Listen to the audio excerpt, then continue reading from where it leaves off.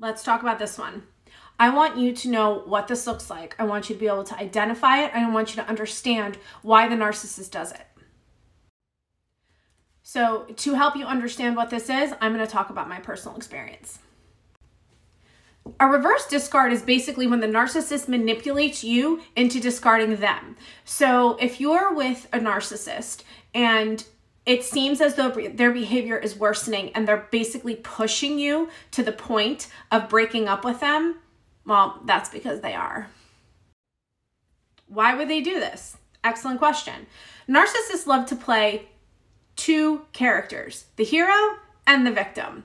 So if you discard them, they can now go to their new supply who I hate to break it to you, but they've already been priming, which is part of why they're pushing you to discard them. So they can now go to the new supply and they can play the victim. I was with this person for a year and a half, and within that time frame, I reverse discarded two times. Clearly, yes, they hoovered me once, otherwise there wouldn't have been a second discard. Hindsight's always 2020. Yes, I say that a lot because it's the truth. After the second reverse discard, I started educating myself on narcissism and narcissistic abuse. Then I started applying that to my personal experience and I started to reflect and started understanding a lot. There were multiple times I attempted to reverse discard before I successfully did it. And each time I got the same response from the narcissist when I tried to walk away. What do you think that was? Something along the lines of, well, if you want to end this, if you want to walk away from the relationship, if you don't want to put the work into it, okay. Now, of course, this is a total mind fuck, right?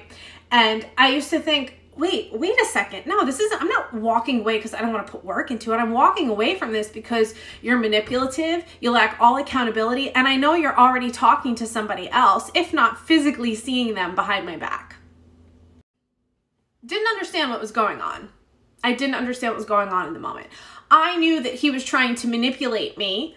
I thought he was maybe trying to manipulate me into staying, and maybe that was part of it. I mean, I'm sure if I stayed, he would have loved it because he could have had his cake and eaten it too, like all narcissists like to do. But now, now I get it. The main motive for the reverse discard is so the narcissist can now go to the new supply, who they've already been grooming, which means they've already started their smear campaign against you with.